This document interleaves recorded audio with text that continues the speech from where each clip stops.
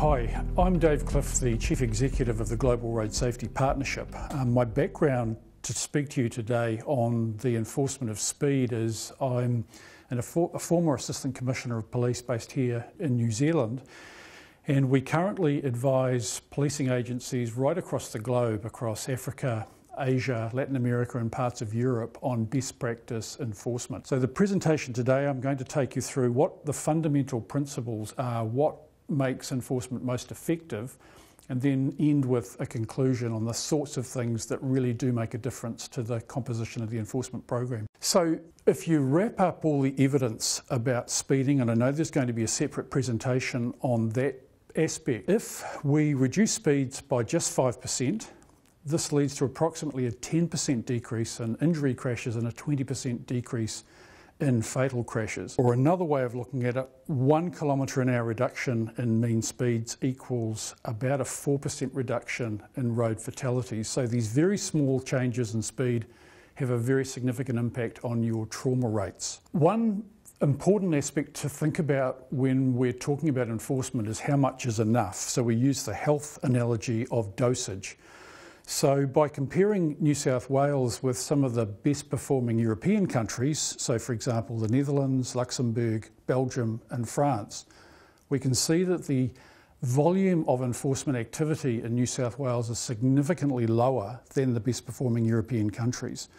So, there's a great opportunity there to increase the level of enforcement and achieve the benefits of that. The evidence around this is also very clear very positive relationship between the amount of enforcement that occurs and the effects on crashes. The more enforcement, the larger the crash reduction impact. So, when we think about effective enforcement, we think about deterrence, which is what will cause drivers to behave in safer ways, so reduce speeds or reduce drink driving, wear safety belts, etc. So, we think about it in two ways one, general deterrence, which is the perceived risk of enforcement. So it's about the threat of enforcement, if you like. So people can see it, hear it on the radio, be told about it. That's general deterrence. Specific deterrence is actually catching people and penalising them. So it can be an infringement or a prosecution for more serious offences. Now, what the evidence says here is that people are less affected in the speeding area by general deterrence as, as opposed to specific deterrence. So it's not so much the threat, it's actually catching them. And what we also know is that this is based in part on the fact that speeding behaviour is complex. People are constantly adjusting their speed for corners, traffic volumes, whether they think they'll be caught, how quickly they need to travel to get to the new place, the next place they're moving to. So they're constantly adjusting speed. And the, the sort of research that we see says that when people see a police officer with a speed detection device or they see a speed camera, they slow down. After passing, they speed up. In fact, they go faster uh, than they were before they saw the uh, police activity. So you need a balance between this idea of seeing enforcement and also catching people. So the two are complementary and both need to be thought about in terms of effective uh, deterrence for speeding. There are essentially two uh, primary types of enforcement. There's automated enforcement, which can occur through things like fixed speed cameras, mobile speed cameras, uh, those mounted in vehicles, and point to point systems, which measure, which measure time over distance, and uh, enforcement carried out by police officers. So the research on this is also quite clear that hidden mobile cameras spread over have an effect that's over much broader areas because people can't predict exactly where the enforcement is going to occur. They're forced to slow down everywhere so the crash reduction impacts of that are greater. We do know that visible cameras are very effective at slowing people at specific black spots. So if there's an area of high risk and we, in, we insert a fixed camera to slow people down at that particular point, there's an advantage in using a, a visible camera at that location. Hidden cameras also have the advantage of reducing this kangaroo effect, which is slowing down for the camera and then speeding up afterwards. So that's also a benefit of having less conspicuous cameras. We can also say that there is there, is, there are good and effective systems, and there are less effective systems in terms of cost and benefit. So, some analysis of the system in Sweden as compared with the state of Victoria showed that while they, while they achieved similar results, the Swedish um, approach was about three times the cost to implement as opposed to Victoria. And Victoria also had more potential identified. So, it's not just the system, it's also how it's applied. And we also know again from um, research by the European Commission that overt cameras are less optimal than covert cameras. Now, the mix in Europe is uh, some are well signed and some are inconspicuous.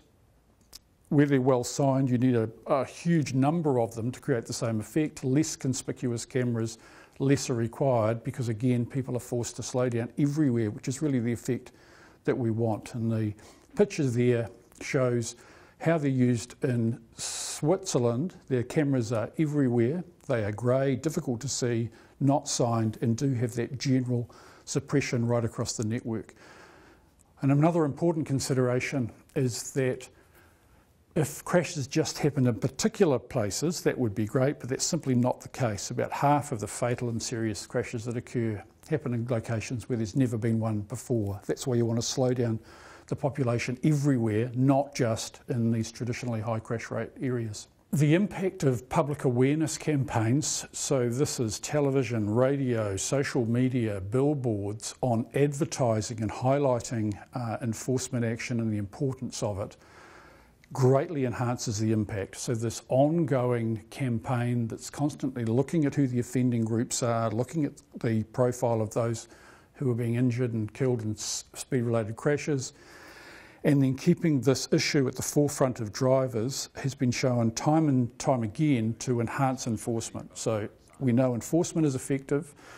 We know that public awareness campaigns on their own are not that influential, but when you put the two together, they have a powerful impact. Another important consideration is just the way in which police officers frame conversations to the media when they talk about speed.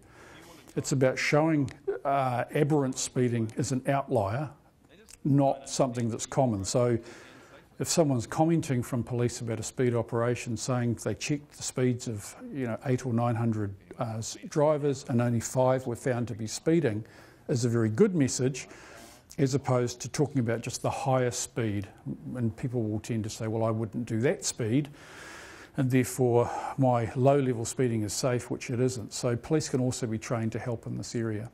I think there's often a belief that speed enforcement is not popular. It's often referred to as revenue raising or um, not important, and it's seen as victimless. But in fact, when you actually survey the population, here's some examples here from both Europe, uh, New Zealand, and the UK, that when you actually ask people questions about enforcement, it's positive. Um, 76% of drivers in the EU favour increased traffic enforcement, 66% um, very much or fairly or, or favour automated speed um, cameras and so on. So the there are definitely a vocal minority who are opposed and don't like speeding and can't get their heads around it. But when you actually survey populations, and this is right around the globe, most people get the relationship between speed, crash risk, and death because it really is common sense. So don't be dissuaded by that vocal minority because they are not representative of, of, the view of the great majority. There are some fundamental components to what a, an effective road policing program looks like. So it needs to be strategic and targeted. It's about being based on crash data and other intelligence about where speeding's occurring. It needs to be um, part of a broad road safety strategy and it's got to be well supported. It's got to be delivered by police who understand the implications of what they're doing, supported by a comprehensive offender management program, so things like demerit points, ensuring that people pay fines when they, um, when they receive them, that high level penalty offending results in loss of licence and then those other penalties. So those things have to support an effective program. Also, it needs to involve strong partnerships between police and other agencies. So, for example, if there's a problem in a particular community or problem with speeding around a school, police need to be able to demonstrate they're responsive to that through their program.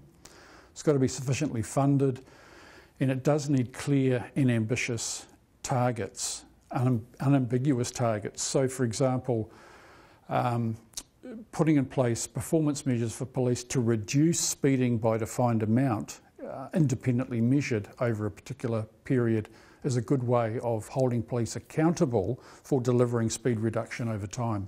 There also needs to be a balanced approach in enforcement between the use of automated enforcement, as we discussed, and then officer based enforcement. Both can be complementary and another important consideration is a minimal level of tolerance. This comes through loud and clear in terms of the advice from the uh, European Union that you want police enforcing speeds as close as possible to the speed limit because the greater the tolerance, the higher people, the higher the speed people will travel. And that creates a de facto speed limit. And as we've seen, small increases in speed, large increases in trauma. So if the speed limit on a rural road is 70 or 80 kilometres an hour, you want police enforcing as close as possible to that limit and not allowing people's speed to creep up because that is directly uh, contradicting the, the crash prevention um, approach that we want to achieve. So, what makes enforcement effective? Well, firstly, we talked initially about dosage, so there needs to be enough of it. And in the case of New South Wales, there's clearly scope to increase the level of enforcement. Again, going to the research, there's clear evidence that shows a doubling of enforcement effort creates powerful crash reduction. So that can be used as, as one um, approach.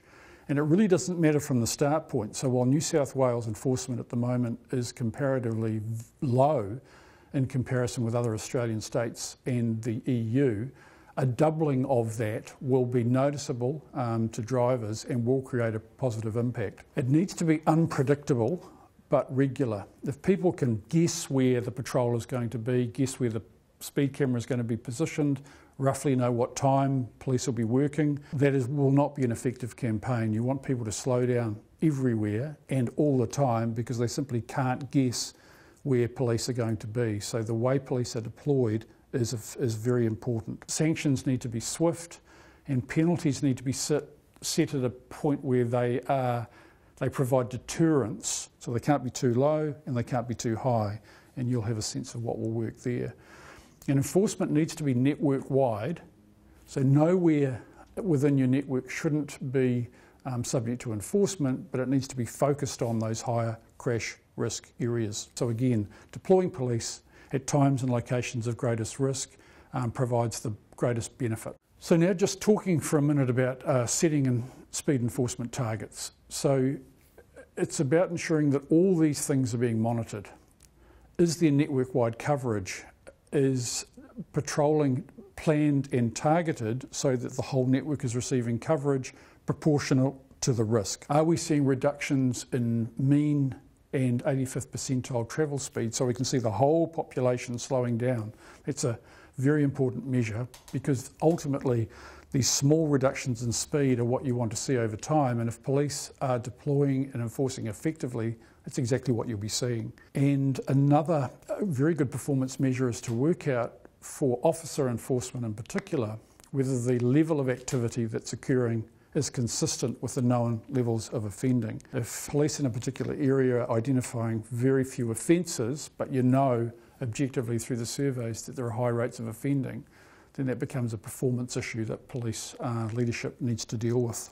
So, just summarising some of these things, if we think about road policing this way, it's got to be intensive, it has to be sustained over time, it's got to be as random as possible so people can't guess where the enforcement is going to occur but know it's regular. Should be utilising both highly visible operations, general deterrence, targeted covert operations to catch those who are habitually speeding, which is the uh, specific deterrence, and by doing that, reduce punishment avoidance. The idea is that people who are habitually speeding need to be habitually caught, and the penalties ideally will graduate. So, if repeated offending results in higher and more significant penalties, it's got to be well supported by a mass media campaign, and really that is the warning. We, we don't want police involved in warning individuals when you'll hopefully be running a multi million dollar campaign that's providing ongoing warnings to the population about the impacts of speeding and how their behaviour can help reduce the state's trauma levels. The last thing to talk about is just again optimising effectiveness through through research. The, the the best enforcement systems we've seen are often tied up very closely linked to universities. So you've got some great options there across Australia between uh, the University of South Australia, MUARC is just two examples. So we're constantly testing the enforcement approach, um, having researchers analysing to see the impacts on crash reduction, um, adjusting enforcement accordingly in terms of um, random, unpredictable time, location, can really start to maximise the effect.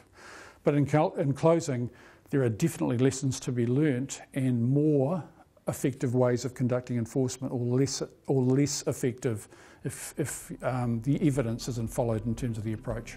If you would like to get in touch, please feel free, and the contact details for the Global Road Safety Partnership are here uh, in the final slide. Thank you.